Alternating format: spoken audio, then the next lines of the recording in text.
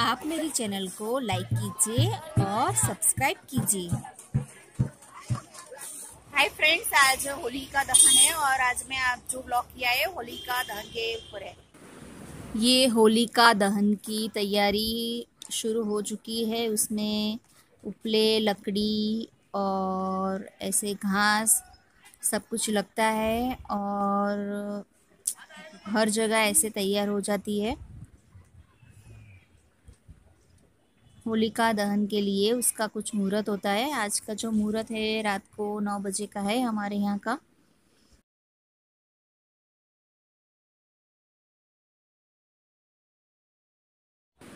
हर जगह आपको ऐसा होलिका दहन के लिए आपको दिखाई देगा। और ये पूरा, पुरानी मान्यता है, उसके हिसाब से ये होलिका का दया दहन होता है। आपको ऐसे होली हर जगह दिखाई देगी।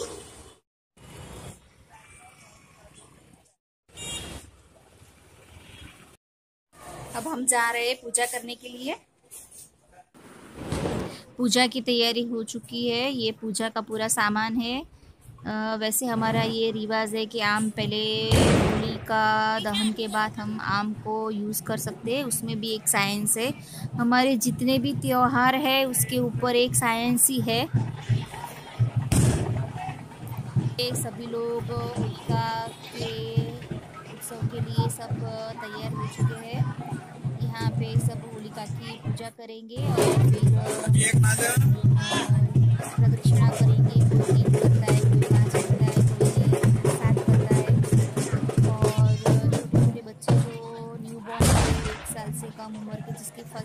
होली उसको भी दर्शन के लिए यहाँ पे लाया जाता है।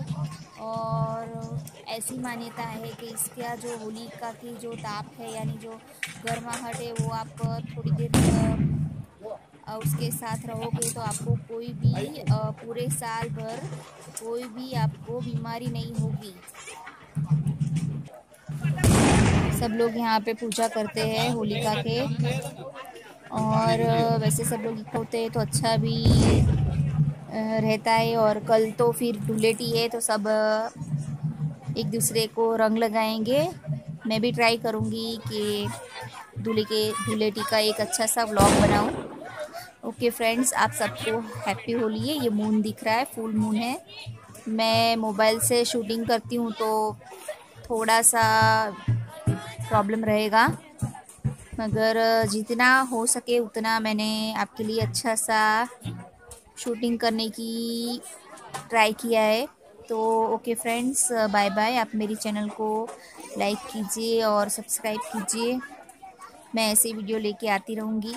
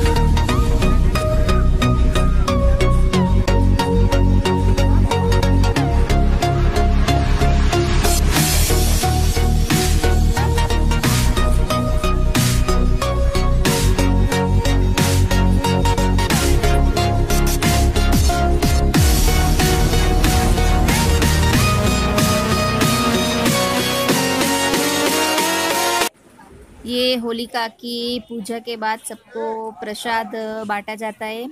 प्रसाद में गांठिया है। अब हम लोग गुजराती है तो गांठिया तो कोई भी प्रसाद में रहेगा ही रहेगा और धानी है। यानी जुआर की जो पॉप होता है, कौन वैसा जुआर का होता है, वो है प्रसाद में। हो गई है हमारी पूरी। और आप मेरे चैनल को लाइक कीजिए और